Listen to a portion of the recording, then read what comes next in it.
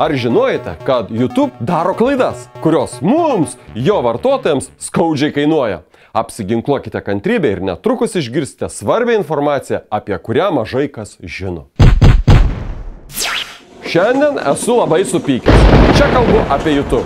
Pasakysiu atvirai, YouTube robotukai susimovė. Jie nesugeba skaityti dviejų kalbų viename filme. Dėl to man yra labai pikta. Mūsų komandai tai gera pamoka, todėl šią informaciją dalinamės su visais, kas nori savo video matyti Google pirmame puslapyje. Atidžiai paklausykite. Praėjusią savaitę klientui sumontuojame filmą, sudėliojame informaciją pagal visas SEO taisyklės ir paskelbėme YouTube kanale.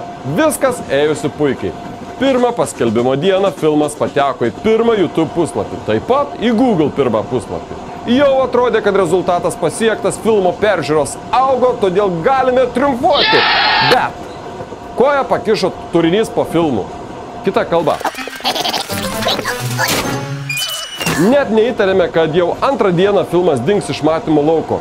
Jo nematyti nei Google, nei Yahoo, nei Bing paieškos rezultatuose, išskyrus YouTube.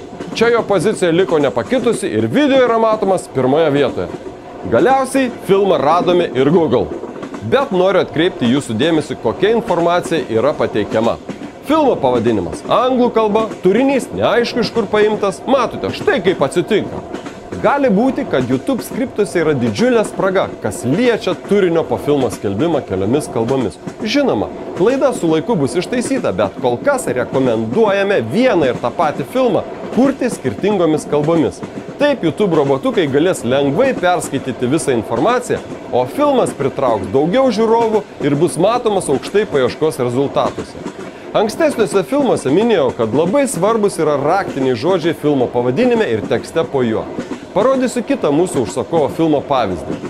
Šitam filmui pasirinktas raktinis žodis kvarciniai stalviršiai. Jeigu viskas padaryta tvarkingai, tai filmas matomas YouTube, Google, Bing, Yahoo rezultatuose. Štai tokiu būdu žiūrovai visada gauna vaizdingą ir tikslingą informaciją pagal jų pageidavimą. Kas liečia video subtitrus, tai juos tikrai galima įkelti prie filmų keliomis kalbomis. Pačiam filmo SEO tai neturės jokios įtakos, o žmonės iš kitų šalių, matydami subtitrus, galės lengvai suprasti jūsų filmo įgarsintą turinį. Tai tokia istorija šiandien. Jeigu kam teko patirti kažką panašaus, parašykite komentaruose, įdomu būtų sužinoti. Dar trumpai apie baldininkų filmą. Mes klientui turėsime paaiškinti apie įvykusią klaidą ir nemokamai sukurti jam naują filmą. Manome, kad klientas nesupyks už tai. Jeigu jums patiko šitas video, spauskite geras, prenumeruokite Atradau LT kanalą ir dar paspauskite varpelį. Tuomet tikrai gausite žinutę, kada pasirodys naujas mūsų video. Su jumis buvo Kestutis Balčikonis, ačiū, kad žiūrėjote iki pabaigos ir pasimatysime kitame video.